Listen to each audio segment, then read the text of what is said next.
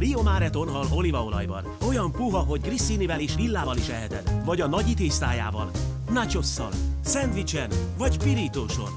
Könnyen, egészségesen olasz módra ez a Rio Mare. Rio Mare. Valódi olasz ízvilág. És most próbáld ki a Rio Márét olasz csilivel vagy citrommal és fekete borssal.